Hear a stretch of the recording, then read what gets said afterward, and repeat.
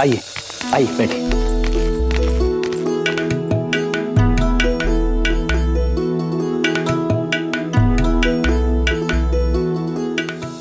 आप आपके लिए कुछ और?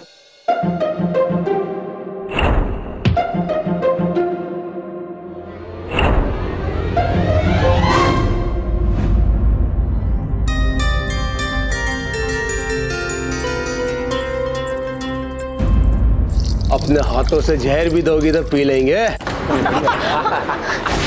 जनाब हाथ छोड़िए। हाथ छोड़िए हमारा। छोड़िए। हाथ छोड़िए हमारा। रुकिए। हमें दर्द हो रहा है छोड़िए। जनाब हाथ छोड़िए हमारा। जनाब हमें दर्द हो रहा है। छोड़िए। कोई से बचाइए हमें। जनाब हाथ छोड़िए जनाब। छोड़िए।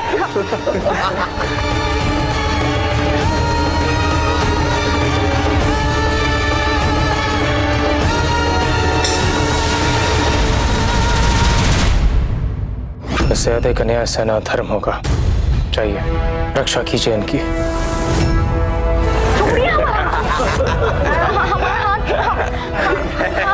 कृपया इन्हें छोड़ दीजिए। आप कौन हो माँ से?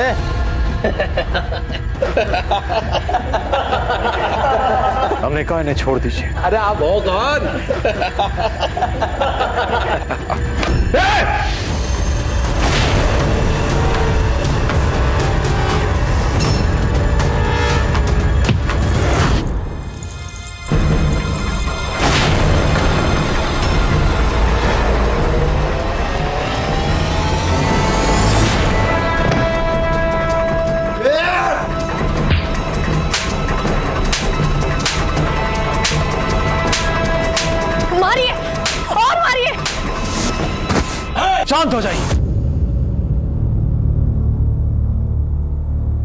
आप दोनों का तालमेल हमें बहुत आकृष्ट प्रतीत हो रहा है। तो क्यों ना इस बार आप दोनों ही क्या कहते हैं आप? अति उचित आरंभ कीजिए। आइए भोजन ग्रहण कीजिए।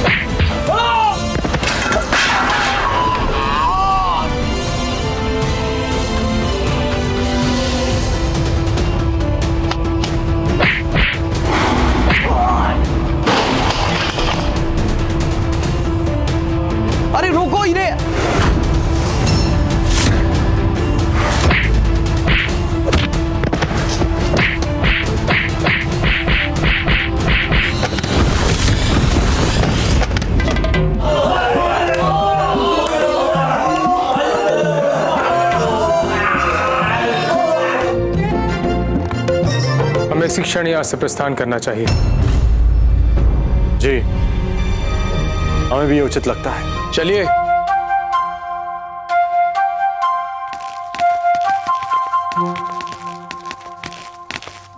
ये जो इतना नुकसान हुआ है ना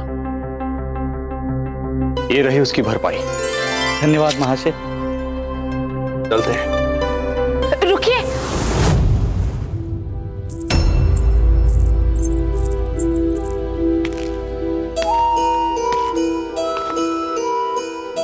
हमें भी अपने साथ ले चलिए। मत छोड़िए इन दरिंदों के हाथों। वे बहुत ही खतरनाक है। हम यहाँ सुरक्षित नहीं। बिल्कुल भी बस बस। हमसे आपकी जितनी सहायता हो सकती थी हमने कर दी। अब और नहीं। इनका यहाँ अकेले रहना हमें उचित नहीं लगता है। आप चल सकते हैं हमारे साथ। आप हमें आगरा तक छोड़ दीजिए। हम वहाँ बिल्कुल सुरक्षित हैं। चलिए फिर। जो होगा देख लेंगे। बहुत बहुत धन्यवाद श्रीमान। ठहरिए। आपका नाम क्या है?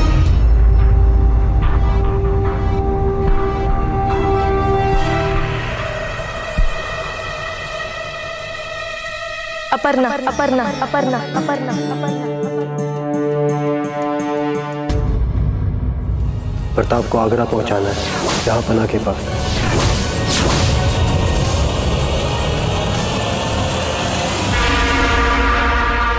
मान सिंह, एक तवील अरसे के बाद ऐसा कुछ मौज तमाशा हो रहा है, जिससे मज़ा आए हमें। यानी मान सिंह, क्या खूब किस्सा बयां किया है आपके गोंडवाना वाले बंदे ने? आप खुद ब खुद हमारे दरवाजे पे आ गया है चल के। जिस शख्स को हमारी तमाम फौजें मिलकर नहीं पकड़ पा रही थी, उसे आपका एक मामूली जासूस का किस्सा ले आया हमारे करीब। मतलब ये तो कमाल ही हो गया मान सिंह। आपके इन जासूसों को खूब इनाम और इकराम से नवाजा जाए। एक एक सूबा दे दो इन्हें मान सिंह। चाहे तो दो दो सूबे दे दो इन्हें इनाम में। और तब तक हमारे आगरा वाले किले में प्रताप के खैर मकदम की शानदार तैयारियाँ होनी चाहिए। जलालुद्दीन मोहम्मद अकबर के किले में आने की ज़रूरत की है हमारे दुश्मन ने। और वो भी घोड़े के तजारती वाले भेस में।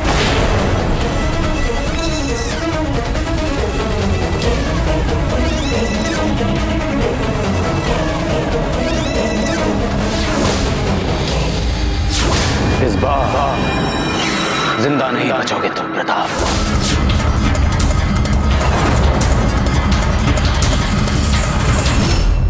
कितनी कितनी गर्मी है। आग बरस रही है आसमान से। थोड़ी देर के लिए विश्राम कर ले। रात भर से आपकी बकबक सुन रहे हैं। और ये नए नए नखरे आरंभ हो गए। अगर इतनी समस्या है आपको हमारे साथ चलने में तो आप एक काम कीजिए। चुपचाप यहीं रुक जाइए। हमें छोड़िए। बहुत उपकार होगा आपका। निष्ठुर हैं आप। बिल्कुल ठीक कहा आपने। देखिए ना बिल्कुल भावना नहीं है इनमें। पत्थर है एकदम पत्थर। अच्छा ये बताइए आप उदयपुर में कुंवर प्रताप के साथ नहीं रहते? आपको कैसे पता चला कि दादा भाई उदयपुर में रहते और हम उनके साथ नहीं रहते? क्योंकि वो आपके भाई हैं।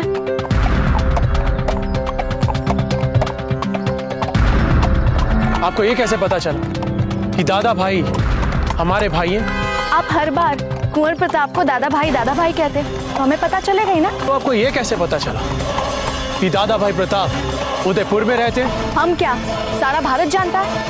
वैसे पहले कभी आपके बारे में सुना नहीं। इसलिए पूछा हमने कि क्या आप कुंवर प्रताप के साथ रहते हैं? अच्छा ये बताइए कि आप दोनों में से बड़ा कौन है? आप या कुंवर प्रताप? क्योंकि दोनों ना एक जैसे ही कटकाठी दिखते हैं। बस। बस बहुत हुआ। अब जब तक ये यहाँ रहेंगी, हम इस दल में नहीं रहेंगे। तय होगा। या तो ये, या फिर हम।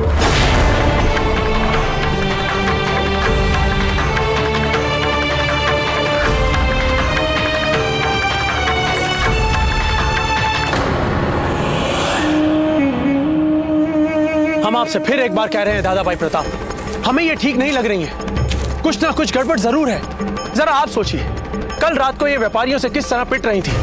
हमारे सामने गिड़गिड़ा रही थी। हमने इनकी जान बचाई। इन्हीं के कारण हमें अपना व्यापार का सारा सामान छोड़कर वहाँ से निकलना पड़ा। और आज अब देखिए इन्हें किस तरह एक के बाद एक एक के बाद एक प्रश्न में प्रश्न पूछे जा रही हैं हमसे। शक्ति सिंह जी हमसे नहीं आपसे। आप चुप रहिए। दादा भाई प्रताप ये भी तो हो सकता है कि अकबर की भेजी हुई कोई भेदिया हो जिसे अकबर ने बहुत ही चलाकी से हमने मिला दिया हो। और आप ये भली भांति जानते हैं कि किस तरह भांति भांति के होते हैं अकबर के जासूस। हो सकता है इस सुंदरी को भी इसी काम में लगा रखा हो। कम से कम आपने हमें सुंदर तो माना। देखा आपने? देखा आपने किस तरह बोल रही है ये? ऐसे भला कोई बोलता है क्या? इसी कारण हमें इन पे संदेह होता है। भाई शक्ति हमें नहीं लगता कि इन्होंने आपसे कोई गुप्तचरों वाली बात की है। क्या? मतलब? अच्छा ठीक है। तो फिर बोलकर बताइए ना इनकी वो आपत्तिजनक बात। अरे अभी अभी इन्होंने कहा ना कि हमने इन्हें माना। सुंदर। हाँ हाँ वही सुंदर। हाँ हम मानते हैं कि हमने ऐसा कहा था पर जिस तरह से आपने हमें छिपते हुए सुंदर बोला हमें अच्छा लगा। क्षमा क्षमा चाहते हैं शक्ति सिंह जी। बुरा मत मानेगा आप चाहे माने या ना माने हमें लगता है कि ये आप पर आसक्त हो चुकी है। और आप है कि इन्हें गुप्तचर बता रहे हैं। हाँ भाई शक्ति आपकी बातों से तो हमें भी लगा था कि ये ये कहीं गुप्तचर तो नहीं है। किंतु बात तो यहाँ कुछ और ही विकसित हो रही है। कुंवर प्रताप आचार्य जी कुछ पता चला दुर्ग का। हम अकबर के दुर्ग से केवल एक कोस दूर हैं। किंतु प्रवेश द्वार में कड़ी सुरक्षा व्यवस्था के कारण हमें भीतर प्रवेश करने के लिए कुछ और सोचना होगा। हमारे व्यापार की सभी पोटलियाँ भी सराय में रह गई हैं। चिंता मत कीजिए। यदि हम सभी मिलकर सोचेंगे तो अवश्य ही कोई ना कोई मार्ग तो निकल ही आएगा। कुंवर प्रताप यदि हम दुर्ग के प्रवेश द्वार के पास विस्फोट कर दे तो? सभी सिपाहियों का ध्यान। विस्फोट की ओर चला जाएगा। और तभी हम चुपचाप दुर्ग में प्रवेश कर लेंगे। नहीं हमारे सूत्रों के अनुसार दुर्ग के भीतर कई सैन्य टुकड़े तैनात खड़ी हैं। हमारा विस्फोट करना सभी का ध्यान अपनी ओर आकर्षित करना होगा।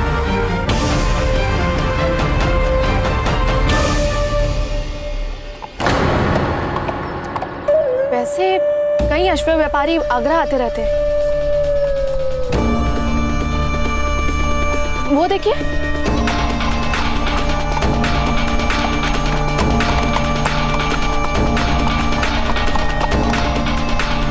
पर हम वास्तविक श्रमिकों के भेष में अंदर घुस सकते हैं। और हमें अनुभव भी है भवन निर्माण में काम करने का। हमने तो कई बार ईंटें भी ढोई हैं। हमारा हाथ देखिए, कैसे कठोर हो चुका है। देखिए। शक्ति सिंह जी देखिए हाथ। में कोई रुचि नहीं है। अरे एक बार।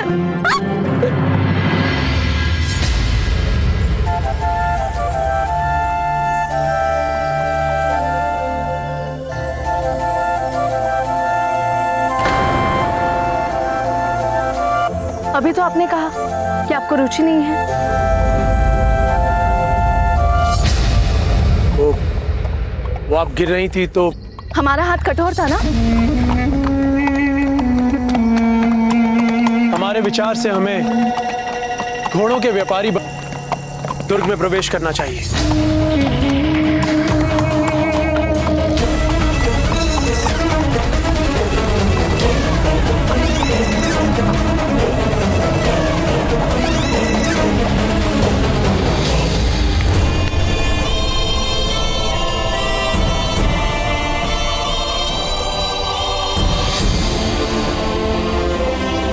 मान सिंह। दक्कन की जानीब। फौज कम लग रही है हमें। वहाँ और सिपाही डालो।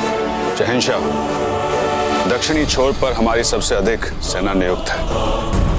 हाँ कुछ कम ज़रूर लग रहे हैं क्योंकि अधिकतर सैनिक छिपे हुए हैं। बहुत खूब। मान सिंह वो क्या बताया था आपके जाब से घोड़े का तजारती बनकर आ रहा है ना प्रताप। जाओ।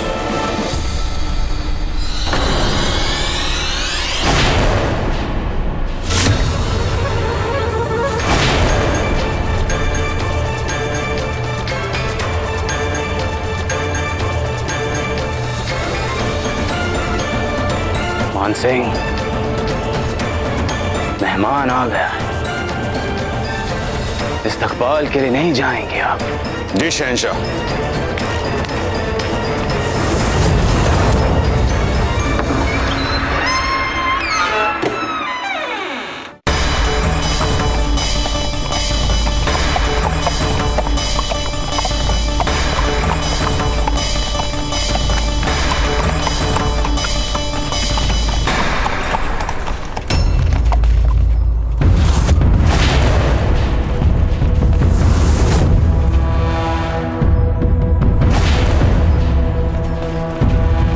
चारों ओर मुगल सैनिक फैले हुए हमें सावधानी बरतनी होगी।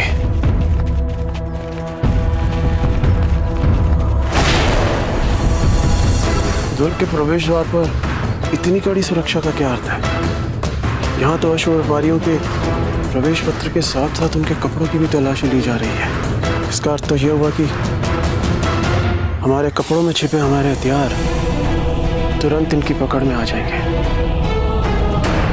कुछ तो गड़बड़ ज़रूर है। यहाँ बात तो ठीक लग रही है, शक्ति सिंह जी आपकी।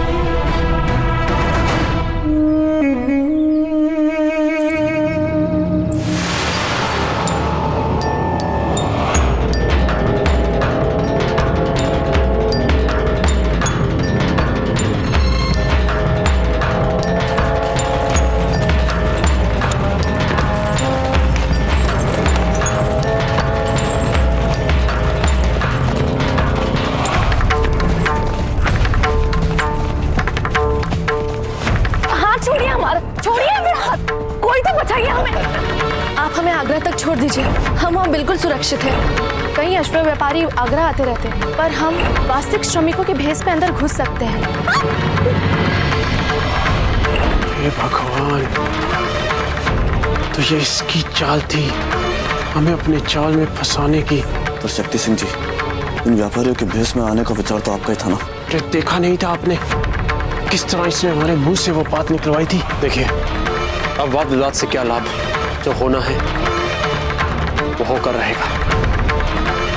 वो देखिए सामने कौन आ रहा है। मान सिंह।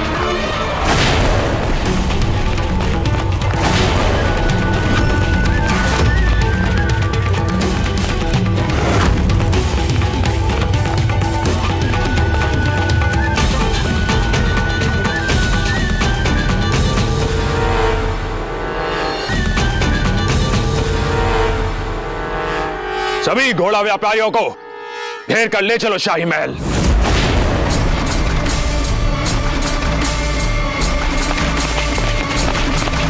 मान सिंह जी सबको बंदी बनाने की ज़रूरत नहीं है। मैं शिनाख्त करके आपको बताती हूँ।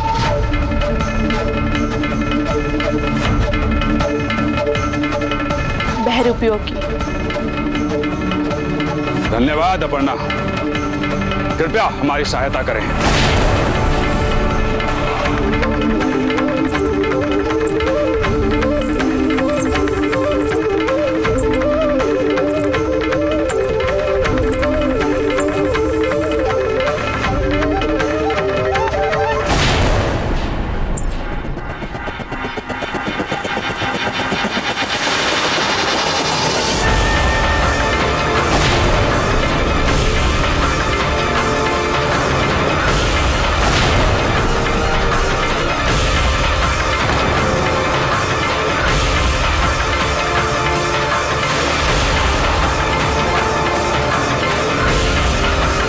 हमें उसी समय मान लेनी चाहिए थी। शक्ति सिंह जी की ये बात।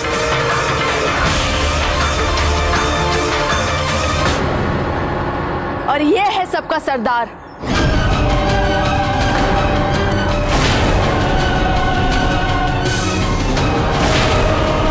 गिरफ़्तार कर लो इन चारों को।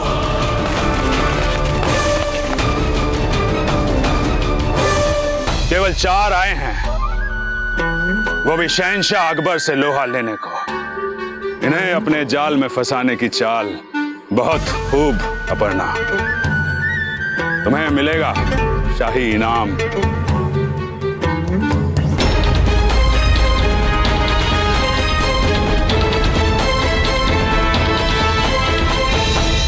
अरे अपर्णा, तुम यहाँ क्या कर रही हो अब तक?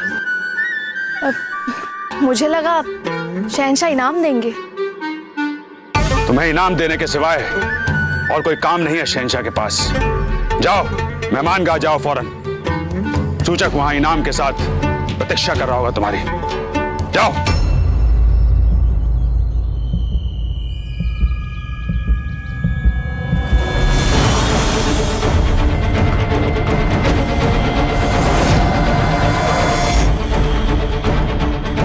इन सभी घोड़ों को ले जाओ शाही अस्तबल की ओर।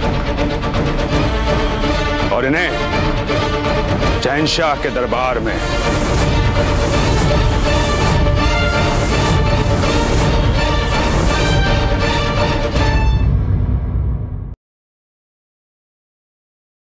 For more updates, subscribe to our channel, click the show links and enjoy watching the videos.